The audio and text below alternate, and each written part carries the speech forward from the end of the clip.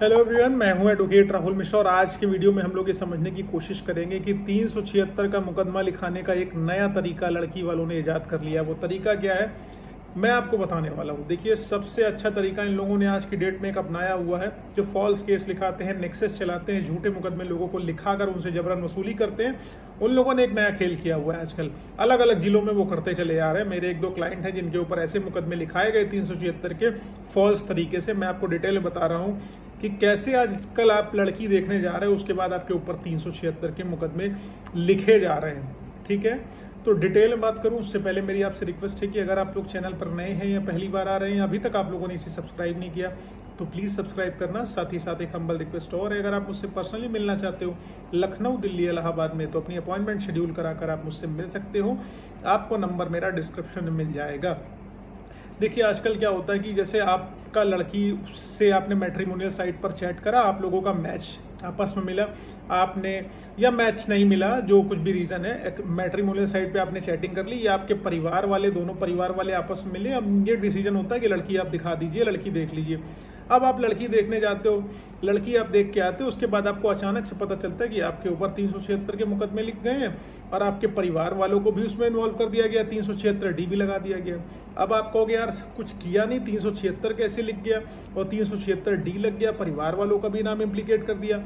जी हाँ इस समय एक ऐसा नेक्सेस चल रहा है, एक ऐसा खेल चल रहा है। जिसमें लड़की वाले जानबूझ के आपके ऊपर तीन सौ छिहत्तर की धाराओं में मुकदमे लिखा रहे हैं। कई बार ऐसा होता है, आप शादी करने के लिए किसी से बातचीत चलाते हो, आपकी बातचीत नहीं बनती, आप टेलीफोनिक कन्वर्सेशन पे उससे बातचीत कर रहे होते हो कभी कभी आप रेस्टोरेंट वगैरह खाने पीने के लिए चले जाते हो, लेकिन सेक्सुअल रिलेशनशिप तक आपकी बात नहीं पहुँची होती है। लेकिन आपका किसी कारण की वजह से हो सकता है आपको बात करते करते लगा हो कि this is not the marriage material आपने कहा हो कि देखो हमारी तुम्हारी शादी किसी रीजन की वजह से नहीं संभव हो सकती, हो सकता है कुछ एस्पेक्ट्स हो जाते हैं लाइफ में कभी कभी जिनकी वजह से नहीं हो पा रही।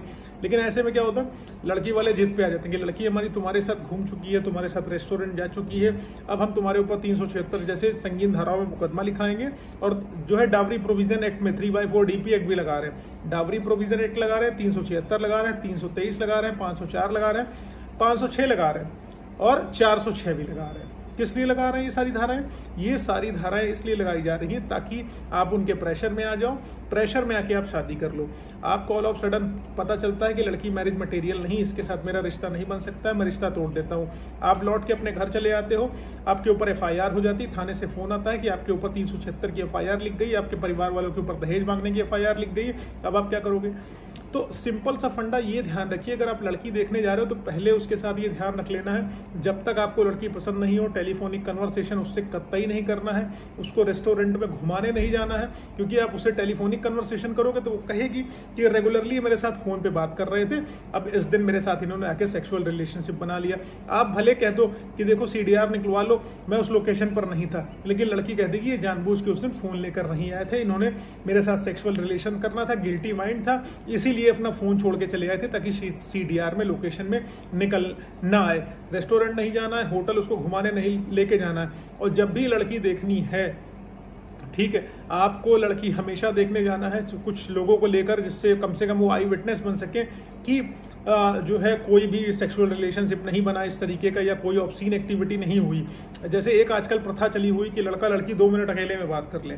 ठीक है, ये भी हुआ है एक्चुअल में, इसलिए मैं बता रहा हूँ। लड़का लड़की दो मिनट अकेले में बात कर ले। आप लड़का लड़की 15-20 मिनट आपस में डेफिनेटली कन्वर्सेशन कर रहे हैं। आपस में कन्वर्सेशन करते करते हो गया, चलो ठीक है, बातचीत करी, अभी उस समय समझ में आया ओके कर दिया। बाद में कहा कि देखो, घर जाके बताते हैं। घर जाके आपने बताया कि हम शादी नहीं कर सकते आपके साथ, किस रीजन की वजह से हो सकता है एजुकेशनल क्वालिफिकेशन ना समझ में आई है चेहरा ना समझ में आ रहा जो कुछ भी रीजन हो, ठीक है डिनाई कर दिया। उसके बाद पता चला, लड़की कहेगी जब मुझे ये देखने आए थे पंद्रह मिनट, ये मुझे अकेले में मुझसे बात करने गए थे, उसके बाद इन्होंने मेरे साथ सेक्सुअल रिलेशनशिप बना लिया। और तीन सौ छिहत्तर का मुकदमा लिख गया भारत देश में सबसे आसान आज की डेट में अगर कोई मुकदमा लिखाना है, तीन सौ छिहत्तर का है। कोई सबूत नहीं चाहिए आपको, कुछ भी नहीं चाहिए। जाइए, मुँह मत धोइए, खड़े हो जाइए थाने में बता दीजिए कि हमारी एफआईआर है तीन सौ छिहत्तर की। पुलिस भी लिख लेती है बिना इन्वेस्टिगेशन के। शायद उसको वसूली करनी होती, या जो भी महिलाओं के लिए बहुत सारे फर्जी कानून जो बनाए गए हैं, जिनका मिसयूज अलग तरीके से हो रहा है। कानून को फर्जी इसलिए कह रहा हूँ क्योंकि मिसयूज फर्जी लोग कर रहे हैं। जो रियल विक्टिम्स हैं, वो सामने नहीं आ पा रहे हैं। ठीक है? तो यहाँ पर ये ध्यान रखिए कि अगर लड़की देखने जा रहे हैं तो बहुत अलर्ट रहिए। इन सारी बातों का ध्यान रखिए, वरना पूरा परिवार जेल की चक्की पीसेगा और एकदम बुरी तरीके से लाइफ आपकी हेल होना। हो चली जाएगी, एकदम खत्म हो जाएगा सब कुछ कुछ नहीं बचेगा।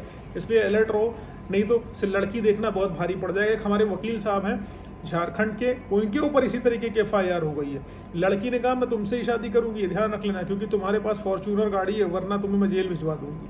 हालाँकि वकील साहब क्वेश्चन में गए, उन्होंने मुझसे टेलीफोनिक कन्वर्सेशन करी कि, सर, मुझे क्या करना चाहिए? मैंने उनको गाइड करा कि ऐसे ऐसे करो, सारी चीज़ें सही हो जाएँगी। ठीक है? लेकिन ये ध्यान रखो कि वो पंद्रह मिनट जो अकेले में बात करने के वो खत्म कर देगा सब कुछ, आपका तीन सौ छिहत्तर लिख जाएगा। अकेले में बात करने तब तक न जाना जब तक उसका आपको चेहरा मोरा, जब तक समझ में नहीं आ रहा तब तक जाना नहीं, वरना सब मिट्टी मिल जाएगा। तो जब तक लड़की के एजुकेशनल क्वालिफिकेशन को आप प्रॉपरली ना चेक कर लें, उसके बैकग्राउंड को प्रॉपरली ना चेक कर लें, तब तक उससे शादी न करें। और बहुत सारी लड़कियाँ ऐसी एग्रेसिव होती हैं हाईली एग्रेसिव होती हैं। कुछ केसेस इधर बीच है कि जो तीन सौ छिहत्तर लगाया जा रहा है, वो एग्रेशन में आके लगाया जा रहा है। कि हमको रिजेक्ट कैसे कर दिया? इसके लिए भी तीन सौ छिहत्तर लगा दिया जा रहा है। हाईली एग्रेसिव कई कई लड़कियाँ ऐसी हैं कि शादी कर ली उन्होंने प्राइवेट प्लेस पर और उसके बाद लड़के के साथ डेढ़ दो साल रह गई। उसके बाद भी उनके ऊपर तीन सौ छिहत्तर और पॉस्को में एफ़ लिखाई जा रही है। ऐसा ही एक मैटर मैं देख रहा हूँ सुप्रीम कोर्ट के लिए। अप्रोच कर रहा हूँ उसमें कि मतलब तीन सौ छिहत्तर दो साल शादी के हो गए, साथ में रह रहे हैं, उनके पेरेंट्स सारी सेरेमनी में आ रहे हैं वीडियोग्राफी है, सारे कुछ सबूत अवेलेबल है। लेकिन क्या हो रहा है? कि उनके ऊपर तीन सौ छिहत्तर लिख गई वो बेचारे भागे भागे फिर रहे। ऐसी कंडीशंस भी निकल के आ रही हैं। तो लड़की देखना है तो उसकी क्वालिफिकेशन पहले चेक करा लो, उसकी मार्कशीट की वैलिडिटी चेक करा लो कि वैलिड है कि नहीं है। उसने जो पढ़ाई बताई है, उसने एक्चुअली पढ़ी है या नहीं पढ़ी या झूठ बोल रही। पहले क्लियरिफाई कर लो, उसके बाद ही देखने जाओ। बाद में देखने जाओगे तो समस्या हो जाएगी, जेल जाओगे और आप लाख कहते रह जाओगे कि मैंने रेप नहीं करा, मेरे पेरेंट्स ने कुछ नहीं करा। पुलिस आपको हैरेस तो करेगी ही करेगी। उसके बाद कोर्ट भी लड़की के मैटर को लड़की की पक्ष में ही ज़्यादातर करती है। इस कानून में सुधार की मोस्ट प्रोबली आवश्यकता है। अगर सुधार नहीं किया गया तो चीज़ें बहुत खराब हो जाएगी। न जाने कितने लोगों की ज़िंदगी मिट्टी में मिल जाएगी। उम्मीद है इस जानकारी से कुछ ना कुछ आप सबक लेंगे। ज़रूर कुछ ना कुछ आपको हेल्प करेगा मोटिवेट करेगा। अगर ऐसा कुछ है तो प्लीज़ वीडियो को लाइक शेयर सब्सक्राइब करना मत भूलना। और दूसरी चीज़ फेसबुक इंस्टाग्राम ट्विटर पर नहीं जुड़े हो तो वहाँ जुड़ो। लिंक डिस्क्रिप्शन में। Thank you